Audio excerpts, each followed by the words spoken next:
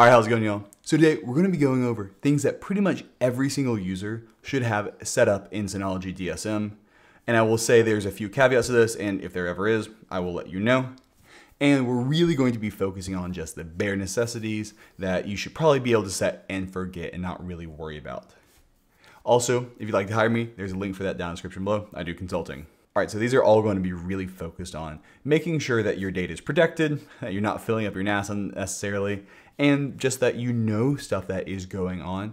And there have been some major updates in the last year that have a lot of great new features that we're going to be using here. So if you're not on DSM 7.2, you really probably want to update now. So I'm going to be talking about a few different really nice DSM 7.2 features here. Go ahead and update because it's well worth it and it is rock solid steady. There are a few units that it will not work on, and that is unfortunate. All right, so we're gonna kind of section this off into different parts. Security, data protection, data well-being, and just overall ease of use slash NAS cleanup is the easiest way I can describe it. And so we're going to start with security pieces here. There's a ton more that can be done here, but these are just really good, quick and easy things you can just check, check, check, check, check off and make sure you have.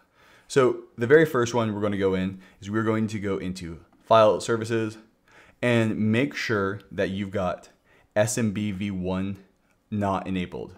So your minimum SMB protocol should be SMB v2 with the exception of people who have like a Sonos or a really old like Windows 7 box or XP. If you have to enable SMB v1, some older devices only support SMB v1 really just go through and make sure you have a good secure local network because it is okay to run this if it's on a firewalled off system, but the vast majority of users just set it to SMBv2 and if something breaks, then you kind of can figure it out from there. And in the exact same vein while you're doing that, make sure you say disable NTLMV1 auth. So both of those are the exact same boat normally you actually have to enable both at the same time to do it. So ideally, minimum SMB protocol SMB v2 and disabling NTLMv1 authentication. Then from there, it's pretty well secured out. Next up, we've got a whole list of things that unless you really know what you're doing, you should have disabled. And that is going to be AFP. AFP has been deprecated by macOS. Definitely, definitely disable that unless you really have to. And if you currently have it enabled, see if you can get off of it as soon as possible because it is no longer supported by macOS and inevitably there are going to be security vulnerabilities associated with it. NFS, unless you really know what you're doing with NFS, you should probably have it disabled because NFS doesn't really have authentication, you use IP-based authentication. So realistically, unless you know what you're doing and you've got a closed off VLAN that's just for storage for virtual machines, don't touch NFS until you know what you're doing. FTP, ideally you don't have just standard FTP on. Instead you use something like FTPS or SFTP, but disable that one if you can. All right, so those were all pieces that were probably good to disable unless you know what you're doing. Another one is going to be SSH. I always SSH into my NAS, but unless you know what you're doing, probably a good idea to leave off until you're comfortable SSHing in just because it's one of those things you just don't want to leave open unnecessarily. But first, I'd like to take a quick break to thank the sponsor of today's video, Delete Me. Did you know that your personal data is being sold online by data brokers? You have the right to privacy and to protect your personal data online. Data brokers are corporations that collect huge amounts of personal information, like addresses, phone numbers, birthdays, and even social security numbers from sites like government public records and even social media. They then aggregate this data to create listings and profiles and then sell that data to either other data brokers who will just sell it to other people or companies who want access to private information for things like targeted ads. Having this information out there increases the risks of being targeted for identity theft or of being the target of a phishing scam.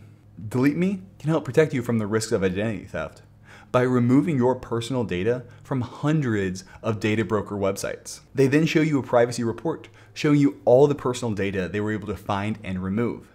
And they then continue to monitor websites and do further takedowns as required. Get 20% off Delete Me US customer plans by going to joindeleteme.com slash Rex and use promo code REX at checkout.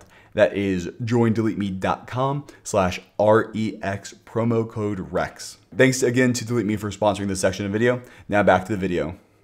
All right, so that was my list of features that you probably want to have disabled. Next up, we're going to have just some overall security settings here.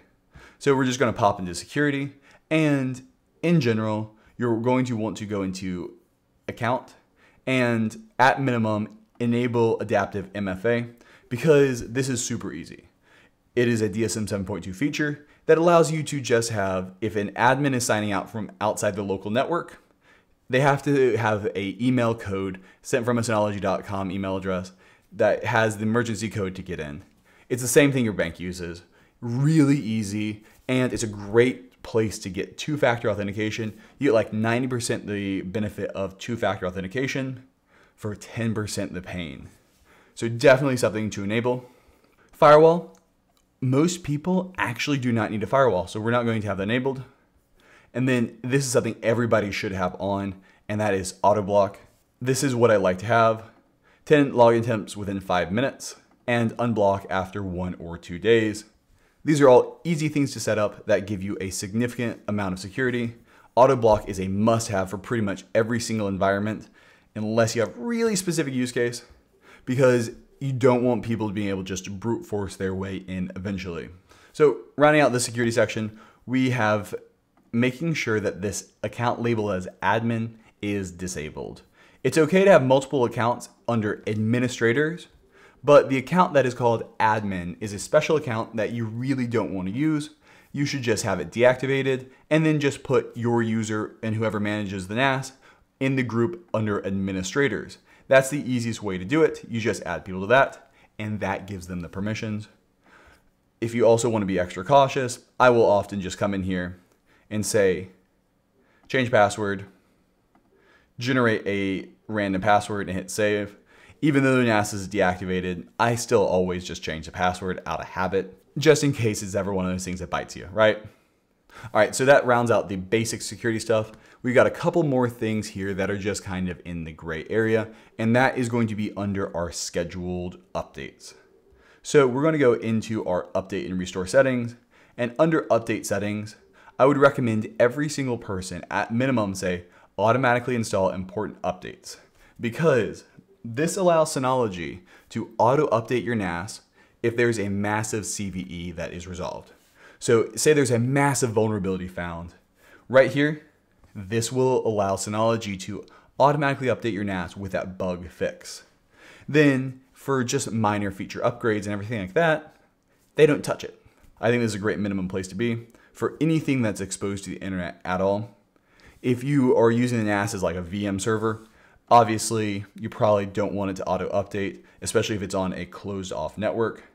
So that is up to you, but for pretty much everybody else, automatically install updates just in case. Next up, we've got a feature that I've belabored to death, and that is scheduled snapshots. And it is a great transition between security and data protection. So you want to make sure you go in the package center and download an app called Snapshot Replication.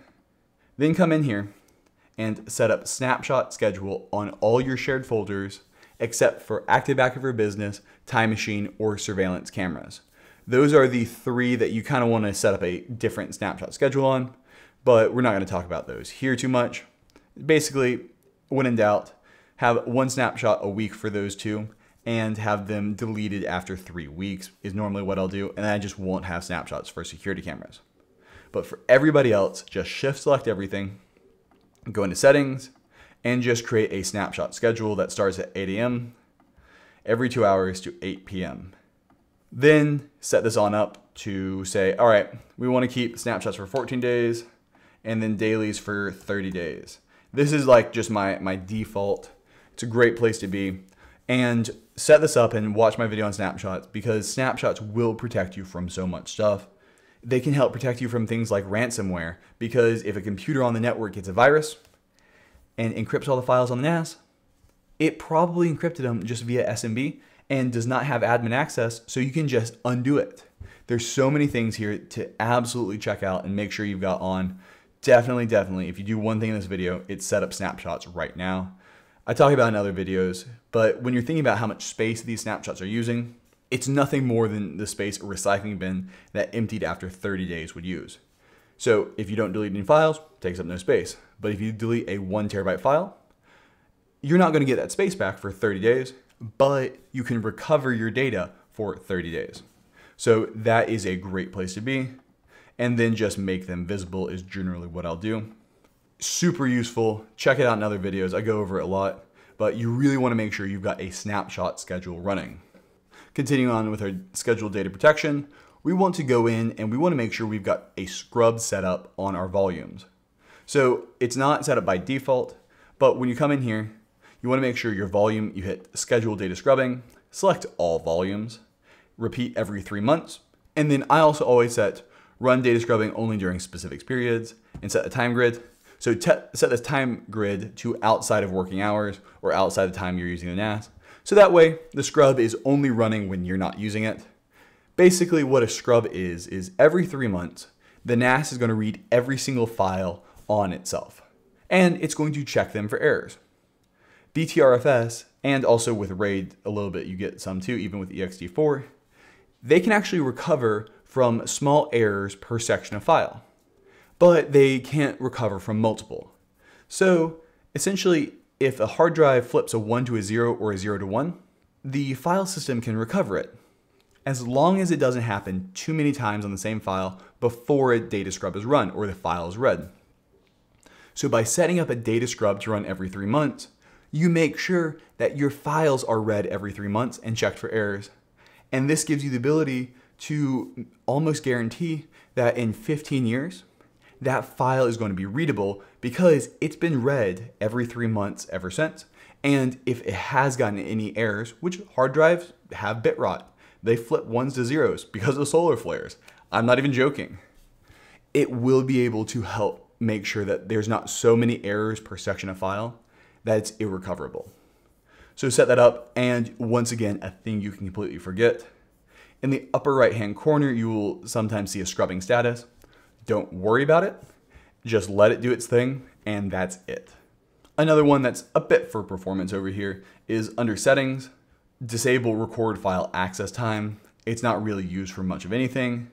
And I also like to enable usage detail analysis just to kind of see what space is being taken up on the NAS. But right now, because I shut this NAS down without actually powering off properly, and I did a whole bunch of things wrong with this NAS, it is having to re-optimize the drives, so I can't do that currently. Another one in the same vein of protecting data is to make sure you have a smart quick test running every 30 days normally. So I don't really schedule extended tests that often anymore because I really have not found them to be that useful. So just go in and create a quick test on all drives.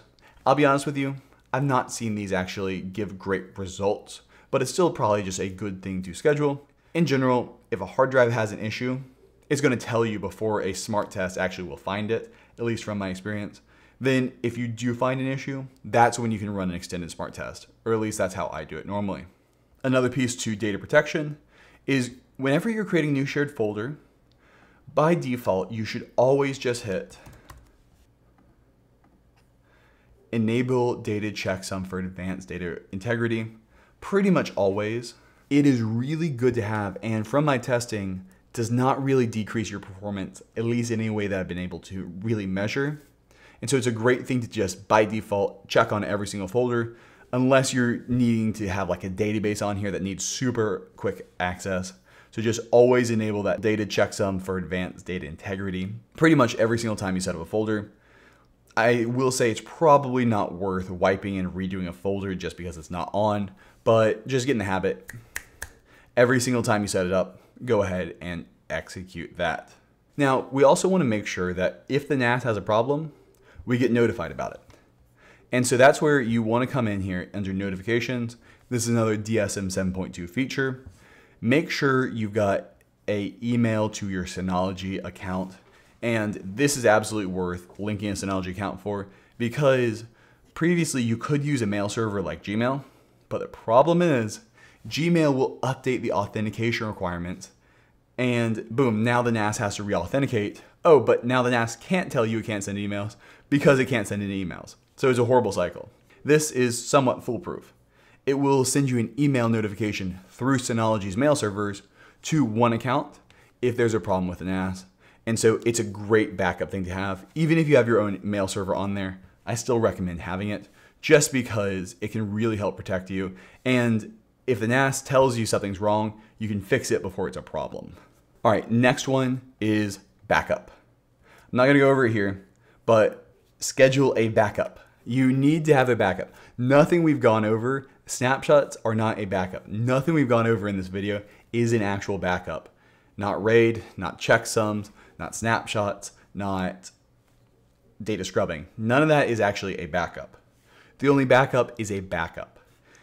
That can be USB copy, snapshot replication, Synology Drive Share Sync, or probably for most people, hyper backup. I talk about in other videos. Buy a 8 terabyte external hard drive, leave it plugged in the NAS 24 7, and pick your most important files to back up every single night. It's an easy place to get started for most people. All right, so now we got two last things for kind of just NAS usability. I don't know how to categorize these. And one is a really common error I see, and it's kind of funny, is the recycling bin. Make sure you go into Task Scheduler and you have a task labeled empty bins. I always set this up the very first thing I do and say delete all recycling bins. And you can choose how long you want it. Realistically, I normally just say two days because the snapshots that we set up are a much better version of this than this. But you would not believe how many times I've hopped on a call because somebody needs to expand their NAS and they want to know the best way to. And it turns out that they just had a ton of data in their recycling bin. I'm talking 40 terabytes in the past because it's something that if you've not set it up, you kind of forget about and you might not even see. So definitely make sure you've got a empty bin task and it will absolutely be worth your while. We're also going to go in and I really like having restart automatically when power supply is fixed. So if the power to the NAS goes off, when it comes back online, it'll automatically boot back up. Not a bad idea to also get a UPS, but I like having this because if you're in France and you really need those files, but your power reset, you don't have to call up your neighbor to go knock on your door and turn it on manually. Also, while I'm in here, this is a really useful thing to know where it is. If the NAS starts beeping, can come in here and it'll tell you why it's beeping and you can mute it. Really useful thing to know. All right, so now one last one that I do find very useful, especially if you're debugging performance data ever, is to come into your resource manager, go into settings, and enable the data usage history. This way you can get a chart telling you your performance parameters throughout the past years.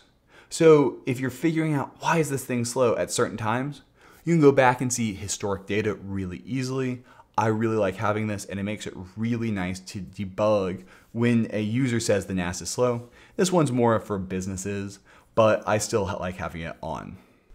All right, well, we just went over a ton of features there. There is so many more things, but these are all just quick settings that you really wanna make sure you've got enabled and you can kind of have a checkbox list off. If you'd like to hire me, there's a link for that down in the description below. I do a ton of consulting down at yarboroughtechnologies.com. And if you have any other questions, you can put those down in the comments below, as well as any other tutorials you'd like to see me make. All right, have a good one. Bye.